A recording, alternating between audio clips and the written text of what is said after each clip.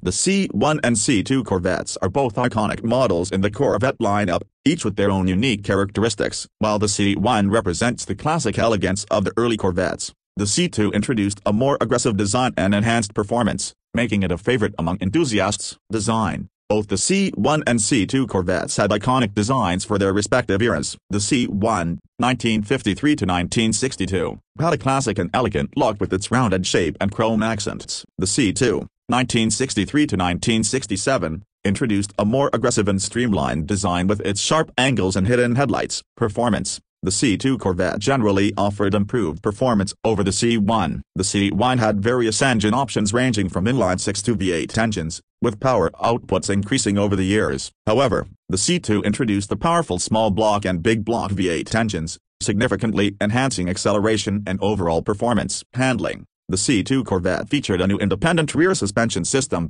which improved handling and provided better road grip compared to the C1 solid axle setup. This upgrade allowed for more precise and responsive cornering. Technological features In terms of technology, the C2 Corvette was more advanced than the C1. It introduced features such as optional power steering, power brakes, and the hidden headlight mechanism. The C2 also had a more refined interior with better instrumentation and creature comforts. Collectability Both the C1 and C2 Corvettes are highly collectible, but the C1, being the first generation, holds a special place in Corvette history. Early C1 models, especially the 1953 Corvette, are particularly sought after by collectors. However, certain C2 models, such as the 1963 split-window coupe, are also highly valued. Popularity The C2 Corvette is generally considered more popular among enthusiasts due to its striking design, improved performance, and technological advancements. The C2 marked a significant shift in the Corvette's evolution and remains a favorite among collectors and Corvette enthusiasts. Availability